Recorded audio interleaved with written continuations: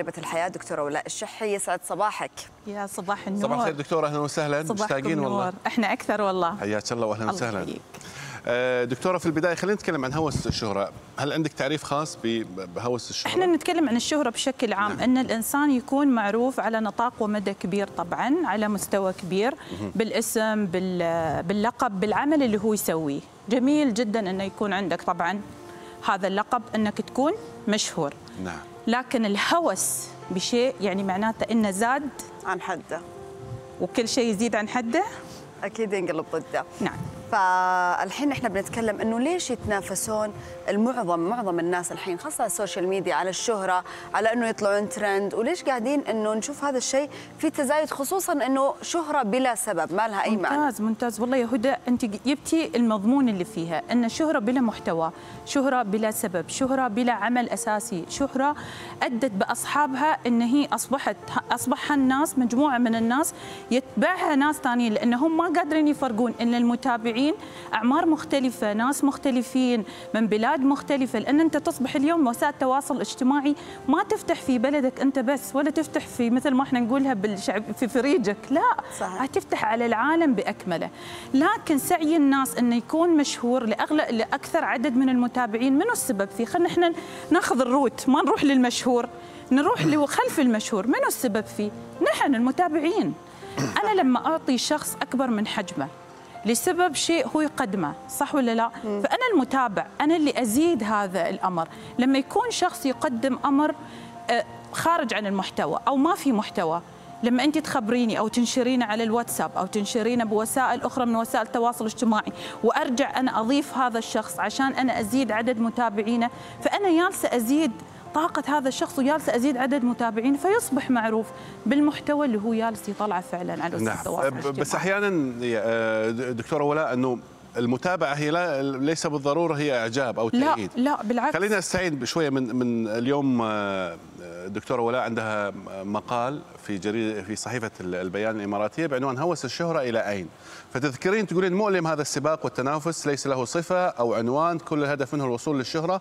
وأكبر عدد من المتابعين والإعجاب لا يهم القيم أو الأخلاق أو حتى الأعراف والتربية لم يعد هناك مانع أو حد لشيء. صحيح ما تعتقدين إنه اذا إذا كان ال- ال- المشهور يقدم نفسه بدون أخلاق وقيم ويصير مشهور يعني وينتشر يعني ما تعتقدين إنه فيها يعني ذم للجهتين حتى المت- المتلقي المتلقي والمت... ال- ال- بس المعطي ملايين يعني. والمتلقي الاثنين عليهم اللوم إحنا نلوم الطرفين نلوم أنفسنا ونلوم الشخص اللي جالس يعطي هذا الأمر نعم. لكن إحنا اليوم ما جايين مثلا نعطي المشاهد أو المتابع اليوم إن الشهرة شيء خاطئ لا بالعكس نعم. أنا واحدة من أهم قيمي وذكرت بعد هذا صحيح. في المقال إن الشهرة شيء مهم عندي نعم. بس حلو إن أنا يكون عندي الشهرة لسبب اليوم أنت حتى ذكرت هذا الأمر اليوم أنت لما تعطي محتوى معناته إن أنت تعطي مسؤولية تعطي إرث لمستقبل تعطي نعم. آه، مفتاح لآخرين إنهم لما يتابعونك مثلا أصبح المشهورين في مجال اللي هو التسويق وال marketing شيء جميل نعم. حلو.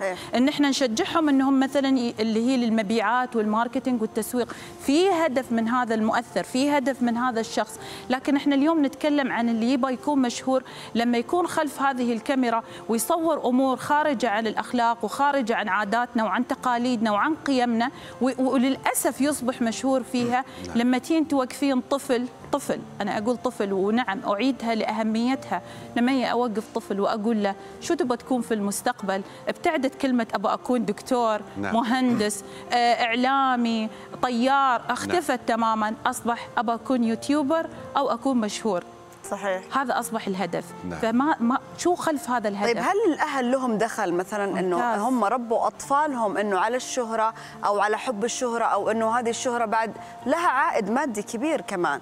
بالضبط. أنت الحين جيتي للمفتاح الأساسي اللي إحنا نبغى ن- ن- يعني مثل ما نقول نوعي فيه الآخرين لأن هذا تحدي. أنا ما بي أقول نمنع أو نقاوم أو نبتعد لأن كل هاي الأمور مثل اللي تقولين شو أنا لما أمنعك على الشيء أنت تبينه أكثر. صحيح. فما يستوي أنا اي أقول لولدي لا خلاص أنت ممنوع إنك أنت ما تستوي YouTuber. لا جميل. حلو إن أنت تكمل تعليمك بهدف. حلو إنه يكون عندك هدف. طيب بتفتح قناة في اليوتيوب ممتاز رائع. أنا بساعدك. بنجيب ناس مختصين في هذا المجال علشان يساعدون هذا الطفل لأنه هو طفل. ما يكون إتجار بهذا الطفل خلف هاي الشاشة. صار هذا الشيء أي. بالضبط. حلو إنه يكون عند طيب شو المحتوى اللي ناوي تعطيه للأطفال؟ لأن أنت هذا ال target مالك حتى الكبار يستفيدون منه. فهذا واجبي أنا كولية أمر. وأنا فعلا عندي بنتي دائما تقول أنا أبى أفتح قناة في اليوتيوب. أنا أقولها ما عندي أي مانع أنك يكون عندك قناة لكن حلو يكون عندك هدف. انك تطلعينه وعندك. رسالة. نعم. الم- المردود المادي أنا ما أقول لولدي والله لا أنت لا لا تفكر في المال. ما ينفع.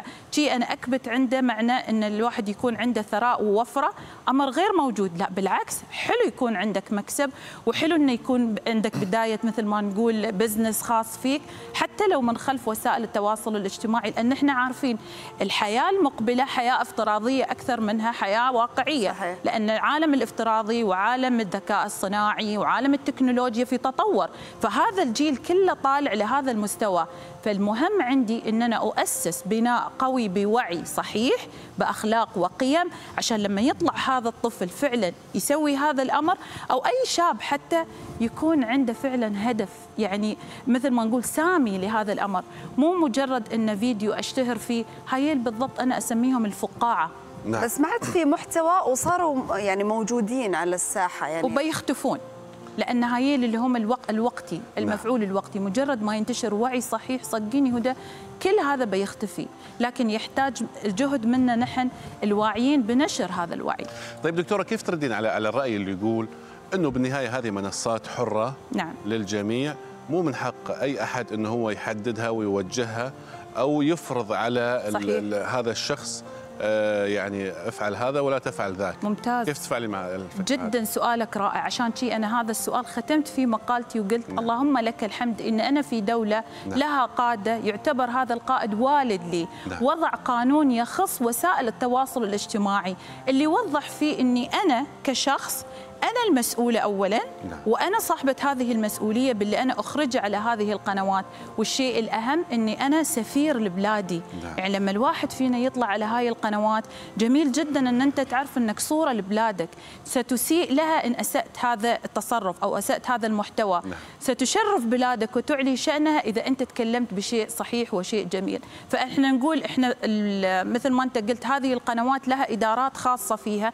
لكن مع زيادة الطلب من المتابع انه يكون في تحديد لقوا- لقوانين معينة. لو لاحظ الانستغرام حط مثلا عمر معين السناب شات الحين في دراسة إنهم يحطون أعمار معينة للاستخدام نفس الشيء اليوتيوب. فمع إن الناس تطالب انه يكون فعلا في قوانين موجودة هاي ال ال الوس يعني القنوات سترضخ لذلك وفعلا تضع لها قوانين. وحتى المشاهير أنا أحس القوانين الصارمة اللي صارت مؤخرا هذه راح تردع كثير من المشاهير اللي بدون سبب.